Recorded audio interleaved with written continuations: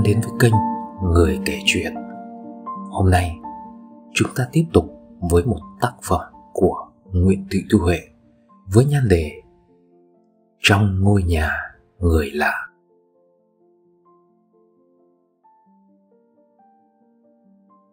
Rất nhiều lần đi qua căn nhà mướt mát cây, Cửa gỗ khép hờ. Nhưng hôm nay, tôi mới dừng lại dưới mái hiên lợp ngói ta cũ, rêu phủ đầy để trú mưa những cơn mưa sau bão luôn ào ạt bất ngờ, đổ xuống như người nóng tính trút giận gào thét, đập phá xong là quên. Rồi vài người cùng những chiếc xe máy lao vào mái hiên duy nhất giữa dãy nhà liên kết như những chiếc hộp xám xanh, ánh cửa nhung kính khiến tôi giật lùi sâu vào trong. Vô tình đẩy tung cánh cửa gỗ ngả màu vàng sau khi bong tróc lớp sơn gỗ bên ngoài. Một khoảng sân gạch đỏ loáng nước. Những cây nhài, bưởi, chanh run rẩy rũ mưa, lá xanh ngắt và hoa rụng rắc đầy. Hương mưa mát lành thơm. Đột ngột cơn giảm tan. Mưa rừng, gió lặng. Nắng bừng lên, trời xanh ngắt, không gian óng vàng trong mọi người trèo lên xe mang theo những khuôn mặt hớt hài, phóng nhanh các hướng. Còn lại mình tôi tựa bức tường khô ngắm khu vườn bé nhỏ xinh đẹp với ngôi nhà ngói ba gian như trong truyện cổ tích. Bên trong một người đàn bà khoảng 70 tuổi lưng hơi còng đi ra. Khuôn mặt bà ánh lên tia sáng của người thông minh nụ cười thân thiện cô có bị ướt không? Mưa gió kiểu này khó lường. Chắc mai hết. Bão tan rồi. Dạ nhờ cái mái hiên của bà mà cháu khô nguyên ạ. À. cảm ơn bà đã không khóa cổng. Rất nhiều người trú được mưa. Cánh cửa gỗ khá nặng được mở rộng. Ngôi nhà và khu vườn hiện ra như một thế giới khác. Nếu cô không bận vào trong khi uống nước. Tôi hãm nụ vối, có cả bánh trà. Mời cô.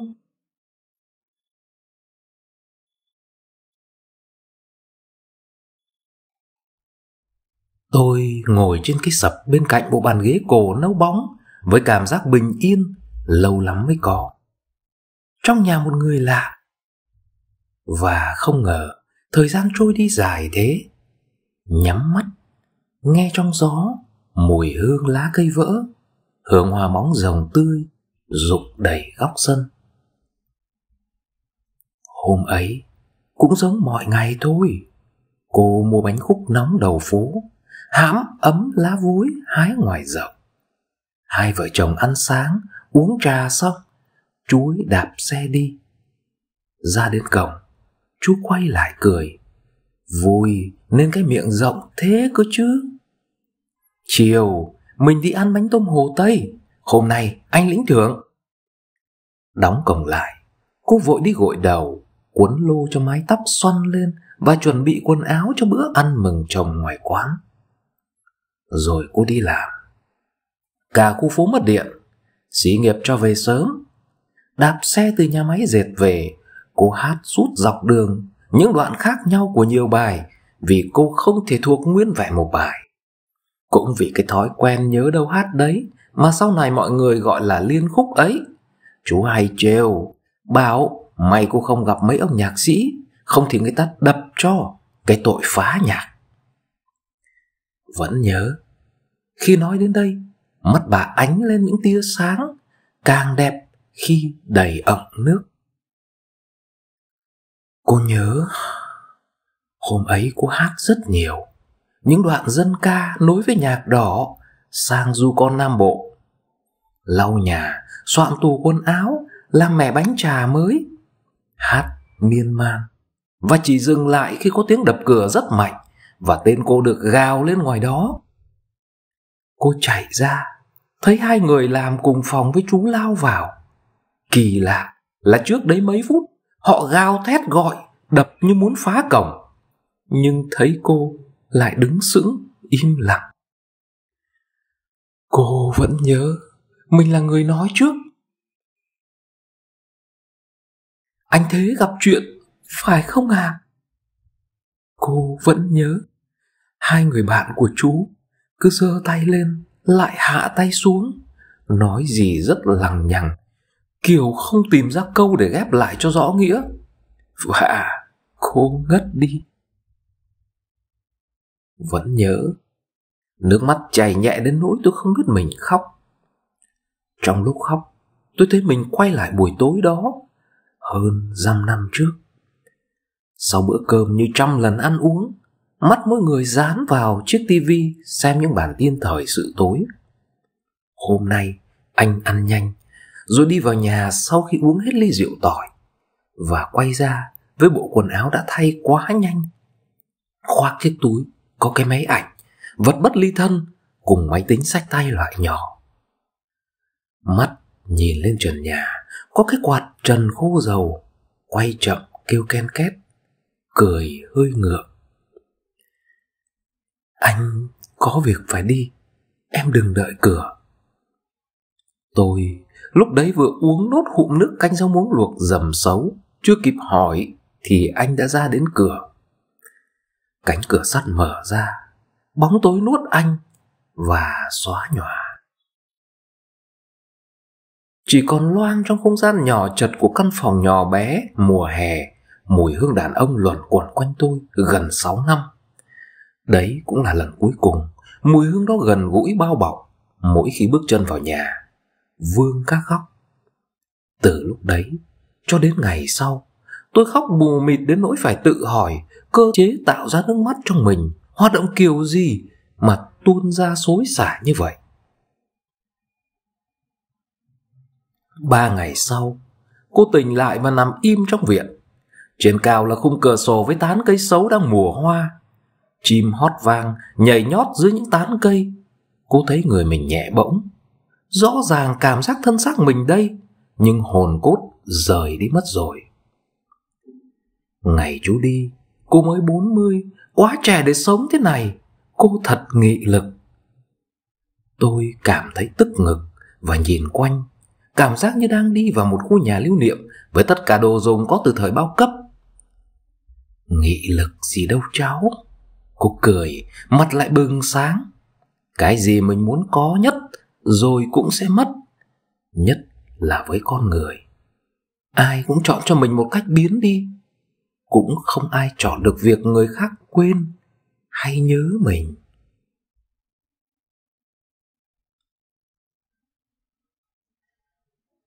vẫn nhớ tôi đã ngồi lặng bao lâu nhìn cô mở một ngăn tủ bưng ra những sấp quần áo của người chồng được giặt gập xếp ngay ngắn như thể để lát sẽ mặc dù ông đã rời cõi tạm 30 năm.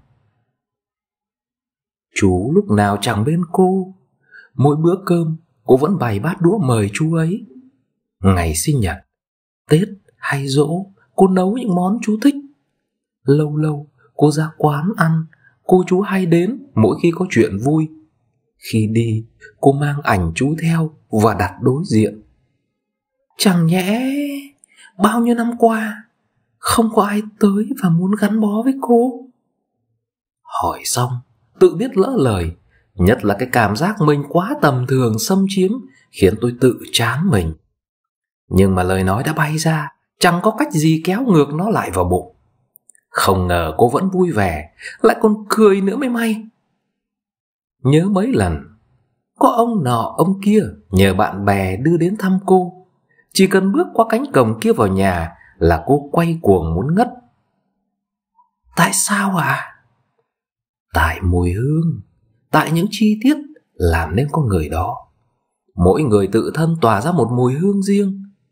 Cô khua tay, hơi ngước lên, mái tóc bạc trắng viền quanh khuôn mặt phấn khích bất ngờ. Xung quanh cô là mùi hương của chú ấy. Căn nhà này không thể có mùi người lạ, cháu à. Phải rồi.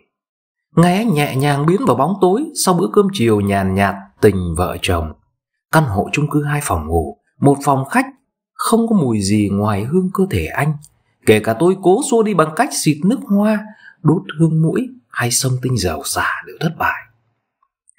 Nhiều mùa thu heo may xe lạnh Mùa đông gió bút Tôi đã tính bán nhà Nhưng chỉ cần nghĩ Những người lạ sẽ ở trong nơi chốn này Không gian cũ của mình Và chồng sẽ tan biến Đời sẽ có gì trước mặt Trong khi ký ức là tài sản duy nhất lại tự xóa mất rồi. Tôi không bán nhà nữa. Ba năm sau Do mối sông, do bể nước của nhà trên gác chảy thấm bong hết các màng tường vui, rơi là tả mỗi ngày. Tôi đành phải sơn lại.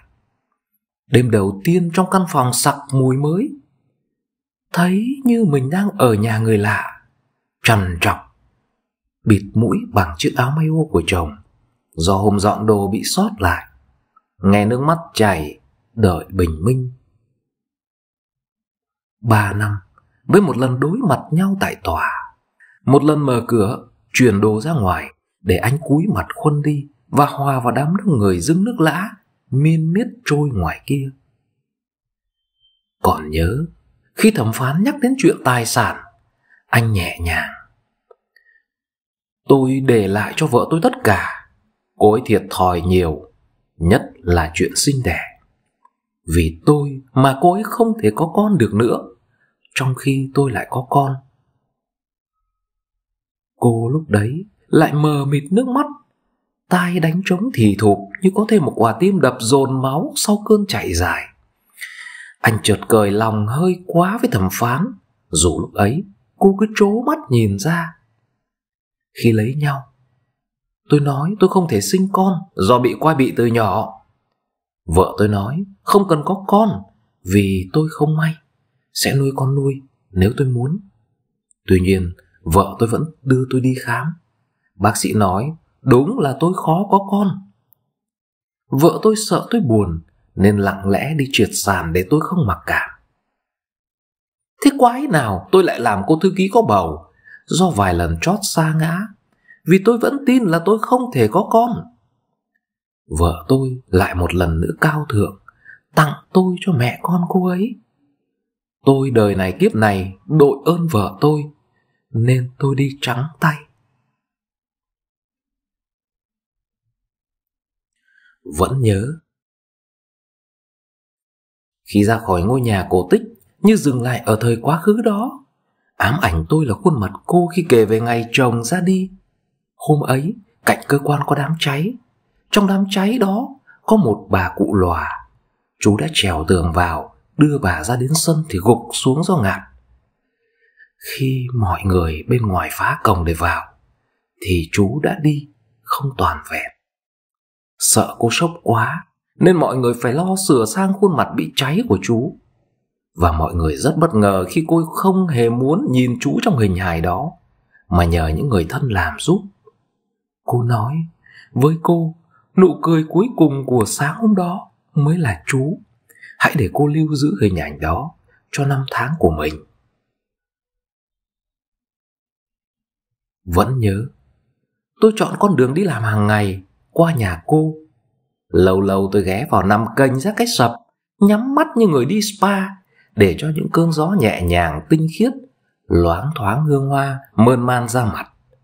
Thỉnh thoảng có tiếng gà con lích chích tiếng méo chợt nhói lên Chắc con gà mẹ lại đuổi mồ con mèo đen, mặt tròn xoe. Cô bảo chúng nó chọc nhau suốt, nhưng đêm đến lại nằm cạnh nhau, canh lũ chuột. Một ngày, tôi về sớm và rẽ vào cô, mang theo mảnh vải thô tặng cô may áo mùa thu. Đầy cửa như mọi lần, từ ngày biết cô, lần đầu tiên cửa khóa ngoài. Đứng một lúc tôi quay về cho tới lần thứ ba quay lại, người hàng xóm chạy tới, đưa một cái phong bì bằng giấy tự gấp. Cháu yêu quý của cô. Cô phải đi xa một chuyến. Có lẽ cô cháu mình không bao giờ gặp lại nhau nữa. Cô không tin là có lúc lại nói với ai đấy về chồng mình. Thật may là cháu đã đến và nghe cô kể chuyện. Giờ thì cô không phải giữ trong mình điều gì nữa. Ra đi được rồi. Cháu gái, hãy yêu một ai đấy bằng tất cả mọi tế bào của cơ thể mình. Được như thế người cháu yêu có bên cháu hay không chẳng còn quan trọng. Cháu sẽ không bao giờ cảm thấy mất mát. Cô yêu cháu rất nhiều thiên sứ của cô. Tạm biệt.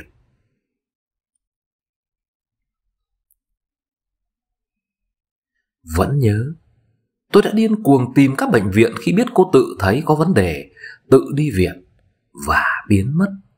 Hai tuần sau, quay lại nhà cô, cổng vẫn khóa. Thanh bình hương hoa tỏa ngát. Tôi không nghĩ mình đã lay gọi cô bao lâu, đến khi hàng xóm chạy ra, nói cô đã mất tuần trước. Tổ dân phố đã làm thủ tục hòa thiêu theo di trúc và thả cho cốt xuống sông hồng, xuôi về mạn ngược. Và tôi không nghĩ mình đã nhớ cô đến thế nhớ nụ cười và bàn tay cô nắm tay tôi. Khi ngồi lên xe máy chuẩn bị đi, ánh mắt vời vợi, sự mất mát vô hình. Giờ thì tôi hiểu, cô nhìn tôi tiễn biệt để lưu giữ hình ảnh yêu thương cuối cùng. Những lúc nhớ cô nhất, tôi chợt tự nhận ra. Nỗi nhớ ngày xưa mỗi lần lang thang những con phố mới, tránh xa mọi con đường cũ từng đi với chồng để cố xóa anh ra khỏi đời mình, lại làm tôi nhớ đến tuổi thân, cay đắng chìm vào rượu, thuốc ngủ, mỗi đêm trong những căn phòng nhỏ đậm đặc mùi cơ thể anh. Và ước mình chết đi, nhưng lại hèn, không dám tự tử vì sợ phiền lòng bố mẹ, anh em, sống lại trên đời mang tiếng, đã làm gì xấu khiến mình quyên sinh. Giờ lại lại nhớ, nỗi nhớ cô xót xa tới sâu thẳm khiến tôi đau đớn. Đời mỗi con người có vẻ ai cũng mang vác rất nặng do tự chất lên chính mình mỗi ngày, chỉ khi họ quyết định hay buộc phải ra đi, thật sự hành trang lại nhẹ không ngờ. Ngày cuối, ở trong ngôi nhà khiến tôi chết đi sống lại bởi một thời yêu đương. Một thời tan nát trước tất cả những đồ vật quen thuộc bao năm mang vác siêu tầm, nâng niu như báu vật. Giờ chẳng còn ý nghĩa. Bây giờ, tôi đã ở một nơi rất xa quê hương khi ra đi, tôi không nghĩ là mình lại nhẹ nhàng thế. Đơn giản trong chiếc vali là kỳ vật của bố mẹ, cặp nhẫn cưới mỏng manh, mấy cuốn sách và đồ cô tặng là những bức tranh, vài món đồ gốm việt cổ cô chú siêu tầm. Giờ thì cả cô và tôi là người lạ trong ngôi nhà nơi xa xứ. Nếu hiểu cuộc đời là thế này thì từ trẻ tôi đã sống khác. Nhiều lần ngước lên trời cao xanh ngắt, rồi lại nhìn xuống đất dưới chân. Mưa đổ xuống, hay nắng hừng lên, vạn vật mướt mát trong mưa. Tôi chỉ muốn quay về nơi ấy, với mùi không gian tinh khiết, tình yêu của cô, như được về nhà của chính mình.